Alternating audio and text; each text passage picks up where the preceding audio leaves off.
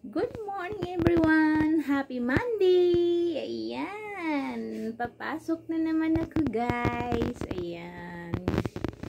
Ayan. Naka naka make up make up na konti. Ayan. So maya maya mag-uniform na ako guys. Kasi alas 6 nandyan na yung sundo namin. Yung bus ngayon is 5.32 na. 5.32 a.m. Ang aga namin nagigising guys. 3 o'clock gising na ako.